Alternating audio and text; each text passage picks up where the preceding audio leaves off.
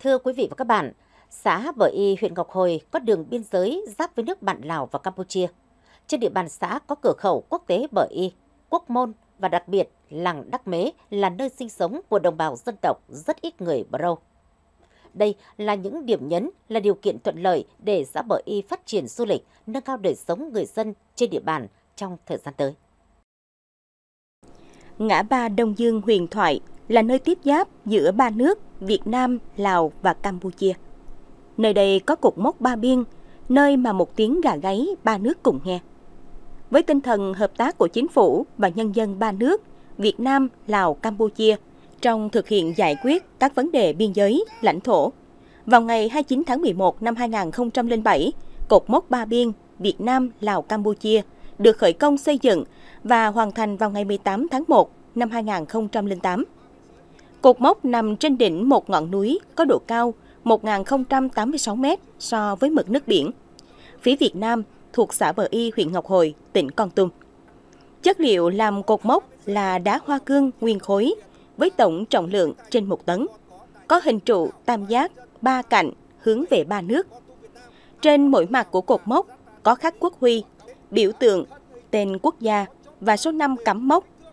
Cột mốc là biểu tượng của sự tin cậy, đoàn kết trong xây dựng biên giới hòa bình hữu nghị của ba nước Việt Nam, Lào, Campuchia. Cột mốc ngã ba biên giới Việt Nam, Lào, Campuchia nó thể hiện à, sự bình đẳng giữa các quốc gia. Đây thể hiện ý chí và nguyện vọng quyết tâm của chính phủ và nhân dân ba nước về xây dựng đường biên giới hòa bình, ổn định lâu dài. Cột mốc ngã ba biên giới Việt Nam Lào Campuchia không những là một vị trí đặc biệt quan trọng về quốc phòng an ninh mà nó còn là à, một điểm tham quan du lịch đầy tiềm năng của à, địa phương tỉnh Con Tum cũng như là của nhân dân ba nước Việt Nam, Lào, Campuchia. Ngoài cột mốc Ba Biên, năm 2020, tỉnh Con Tum đã khánh thành quốc môn cửa khẩu quốc tế Bờ Y. Đây là một điểm nhấn để phát triển du lịch trên địa bàn xã biên giới Bờ Y nói riêng và huyện Ngọc Hồi nói chung. Quốc môn được đầu tư với tổng kinh phí gần 33 tỷ đồng. Công trình quốc môn cửa khẩu quốc tế Bờ Y được xây dựng dựa trên kiến trúc của nhà sông văn hóa truyền thống và cấu trúc đàn tơ rưng gắn với logo tỉnh Con Tum. Đây là công trình tầm cỡ quốc gia, đánh dấu chủ quyền dân tộc, tạo không gian kiến trúc đẹp, tạo điểm nhấn cho khu vực và là điểm dừng chân tham quan ngắm cảnh cho du khách khi đến với cửa khẩu quốc tế Bờ Y. Cách cửa khẩu quốc tế Bờ Y khoảng 8 km là thôn Đắc Mế, nơi có đồng bào dân tộc thiểu số rất ít người bờ râu sinh sống, còn lưu giữ những nét văn hóa độc đáo riêng. Ngoài những bộ chiên tha quý giá, hiện thôn Đắc Mế đã thành lập một đội nghệ nhân cổng chiên, múa xoan. 20 chị em giữ được nghề dệt thổ cẩm truyền thống và đã thành lập một tổ hợp tác khôi phục nghề làm rượu cần men lá truyền thống của dân tộc Bờ Râu. Biết giết thờ cẩm này là biệt vải như thế này thì rất cảm ơn à, bên à, dự án để đầu tư để cho con em biết làm thơ cẩm để cho họ biết truyền thống dân tộc của mình. Rượu cần men lá bởi vì cái truyền thống à, cái nghề truyền thống của dân tộc à, Bờ Râu ngày từ ngày xưa rồi. Ngày xưa người ta làm á, một phần người ta làm để bán ừ, cái men á. À, cái thứ nhất, cái thứ hai nữa người ta làm rượu á. Trong lúc cái người ta làm lễ các cúng lúa, um, lúa mới này, à, vừa chuẩn bị tỉa lúa này, làm men xong á thì người ta sẽ làm rượu, làm rượu xong người ta bán đi ban ban đi cái rượu đấy thì nó đặt đặt tiêu chuẩn à, tốt à, để được nổi tiếng à, của truyền thống à, văn hóa của, của mình. Với sự quan tâm của Đảng, Nhà nước, kết cấu hạ tầng thôn Đắc Mế đã được đầu tư hoàn thiện, tạo điều kiện thuận lợi cho nhân dân phát triển kinh tế xã hội. Năm 2020, thu nhập bình quân đầu người trong thôn đạt 30 triệu đồng một năm. Thôn còn 7 hộ nghèo và 11 hộ cận nghèo đang à, nhà nước là quan tâm để mà anh em bà con nó xây dựng ờ, trương trái này rồi con con tầm về mọi mặt này cỏ su cà phê này nhà nước rất quan tâm đủ về mọi mặt, rồi làm nhà rong này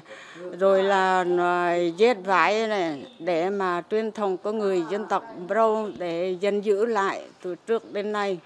nên là ừ, tuyên truyền anh em bà con, dân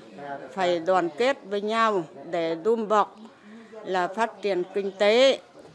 văn hóa, mọi mặt để ừ, vững bền. Thôn Đắc Mế thì hiện nay được à, Đảng và Nhà nước quan tâm đặc biệt về cái dân tộc Bờ Râu. À, hiện nay là nói về cái điện, đường, trường, trạm nói chung là đã được đầu tư tất cả. Và mới đây là trong giai đoạn 2 này ấy, thì hỗ trợ cây con giống để cho bà con phát triển kinh tế. Ban quản lý thôn là chúng tôi tuyên truyền vận động bà con thứ nhất phải duy trì lại được cái nghề nghề dệt thổ cẩm này cũng như là về cái nhạc cụ dân tộc này và lưu giữ cái bản sắc đặc trưng của người dân tộc Bờ Râu để phát triển cái du lịch cộng đồng. Xã Bờ Y có lợi thế là nằm trong khu vực kinh tế cửa khẩu quốc tế Bờ Y, giao thông thuận tiện, có quốc lộ 40, đường NT18.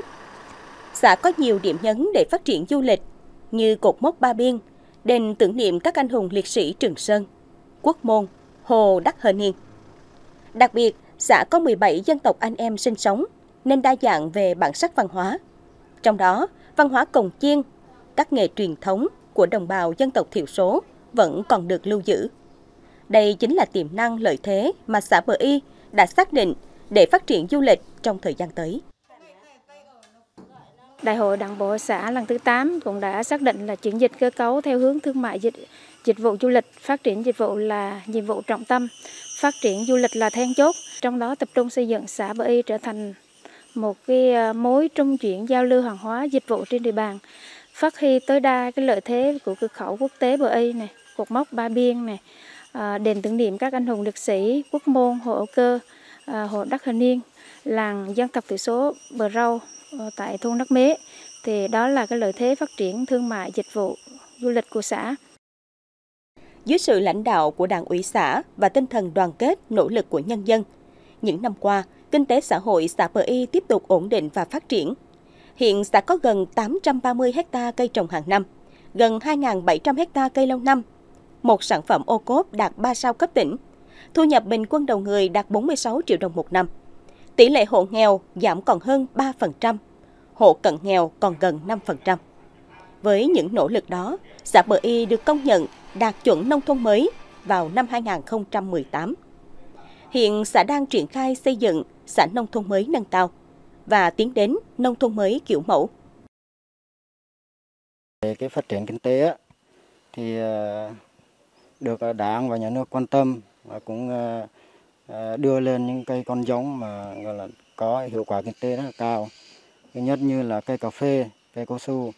Và hiện tại ở đây ở thôn là các cây chủ, chủ lực á, thì là cà phê, cao su và mì. Còn à, hiện tại bây giờ bà con cũng à, à đang đang phát triển thêm cái cây mắc ca nữa. À, thì cái này thì cũng tin tưởng bà con cũng sẽ à, về cái kinh tế sẽ phát triển khá hơn nữa trong năm tới. Phát huy những kết quả đạt được, Đảng bộ, chính quyền và đồng bào các dân tộc xã Bờ Y đã và đang nỗ lực xây dựng xã ngày một phát triển. Xã cũng là tập trung là phát triển toàn diện các ngành trồng trọt, chăn nuôi lâm nghiệp theo hướng công nghiệp cao, sản xuất hàng hóa với giá trị gia tăng như cà phê, cao su, à, mắc ca để triển khai thực hiện các chính sách khuyến khích phát triển à, liên kết à, bao tiêu sản phẩm đầu ra cho nông dân để hình thành chuỗi liên kết sản xuất và tiêu thụ